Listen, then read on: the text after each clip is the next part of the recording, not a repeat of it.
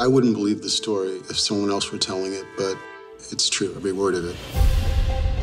It started when I went to college. It was the first day of school. All these people are coming up to me saying, Eddie, how are you? Eddie, hi. I'm like, my name's not Eddie. I don't know what you're talking about. As soon as this guy turned around, I knew it was Eddie's double. I said, You're not going to believe this. You have a twin brother. Oh my God. As I reached out to knock on the door, it opens. And there I am. His eyes are my eyes, my eyes are his eyes, and it's true.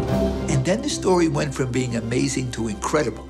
It was an article to Twins Reunited. I think I might be the third. When people ask me what is the most remarkable story you ever encountered, I tell them it's the story of the triplets. You guys have been on the front page of every newspaper in the world. True.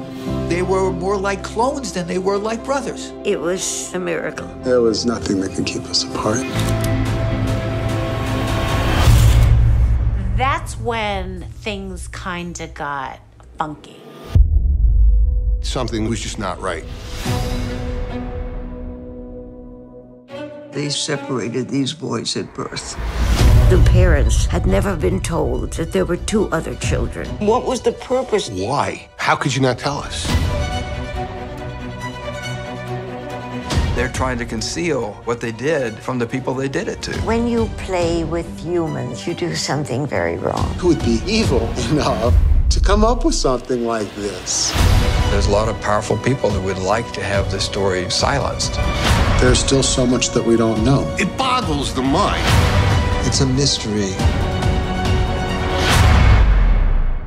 I'd like to know the truth.